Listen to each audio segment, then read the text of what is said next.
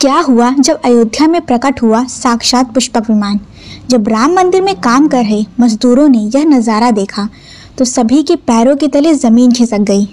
जय श्री कृष्णा दोस्तों, आप सभी का स्वागत है आपके अपने चैनल सनातनी फैक्ट्स में। 22 जनवरी 2024 को रामलला अयोध्या के नए भव्य मंदिर में विराजमान होंगे। इस शुभ कार्यक्रम के लिए पूरे देश में निमंत्रण बांटा जा रहा है। शहर में घर के बच्चों से लेकर बड़ों तक सभी सहयोग कर रहे हैं। यहाँ तक कि महिलाएँ भी घर घर अक्षत और भगवान श्री राम की फ़ोटो वितरण कर रही हैं। अयोध्या में मंदिर के निर्माण, भव्य प्राण प्रतिष्ठा का कार्य तेज़ी से हो रहा है। इस कार्यक्रम को भव्य बनाने के लिए कोई कसर नहीं छोड़ी जा रही।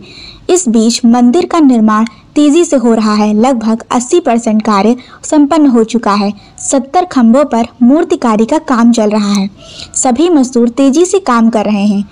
10 जनवरी 2024 की रात को कुछ ऐसा चमत्कार हुआ, जिसे देखकर सभी मजदूरों के होश उड़ गए। जब रात्रि के समय सब मजदूर अपना काम खत्म कर तंबू में सो रहे थे, उसी समय अचानक से उन्हें वहाँ कुछ हलचल महसूस हुई।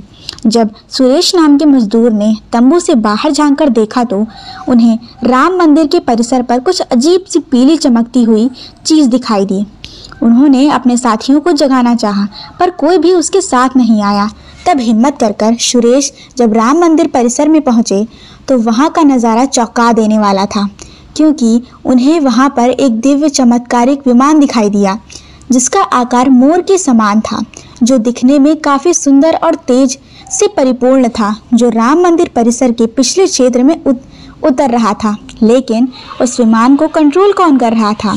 यह समझ नहीं आ रहा था क्योंकि उस विमान में इतना तेज था कि सामान्य आँखों से देखना असंभव था। लेकिन समझ में कुछ ऐसा आ रहा था, मानो स्वयं। साक्षात भगवान राम, साक्षात पुष्पक विमान में से अयोध्या पधारे हुए हों। सुरेश ने जब यह चमत्कार आँखों से देखा कि अचानक से वह बेहोश हो गया, क्योंकि उसका तेज इतना तेज था कि वह उसे सहन नहीं कर पाया। सुरेश जब सुबह उठा तो खुद को उसी स्थान पर पाया। उसने देखा कि उसके सभी साथी मंदिर निर्माण कार्य के लिए, पूरा करने के लिए जा रहे थे।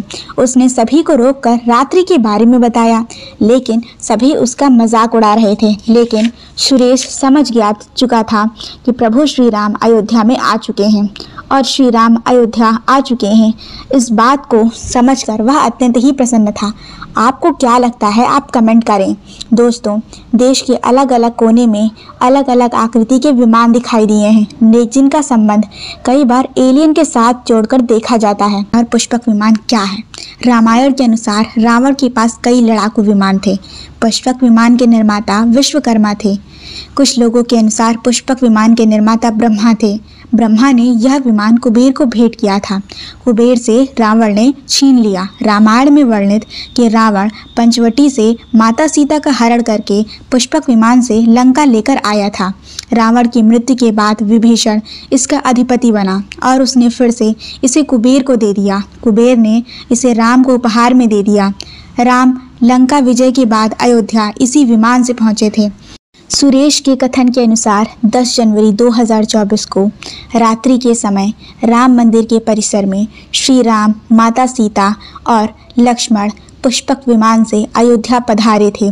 आपको क्या लगता है, कमेंट करें और वीडियो को ज़्यादा से ज़्यादा शेयर करें। और अगर आपको वीडियो अच्छी लगी हो तो वीडियो को लाइक करें और सब्सक्राइब करें और कमेंट में जय श्री राम ज़रूर लिखें।